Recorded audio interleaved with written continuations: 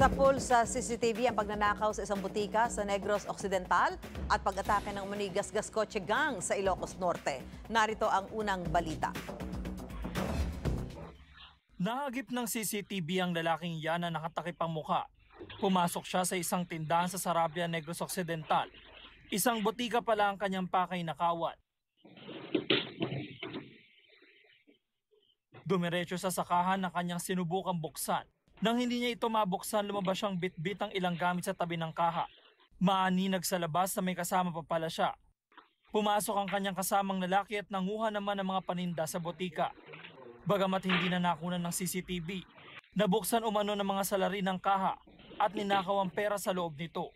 Ayon sa may-ari, sinira ng mga lalaki ang padlock ng kanilang roll-up at sliding door para makapasok. Inaalam pa kung magkano ang halaga ng mga ninakaw. Gasgas kotse gang ang nahuli kam sa Lawag City, Ilocos Norte. Magkakaangkas ang tatlong sospek sa iisang motorsiklo. Pagtapat nila sa nakaparadang sasakyan, inilapit nila ang kanilang kamay at tila ba nilinyahan ng sasakyan. Hindi na nahagip ng CCTV pero may isa pa raw SUV na tinarget ang mga salarin. Naipaalam na sa pulisya ang insidente. Tinutugis na ang mga sospek na nambibiktima rin daw sa ibang barangay. Yan ang unang balita. James Agustin, Buong Puso para sa Pilipino.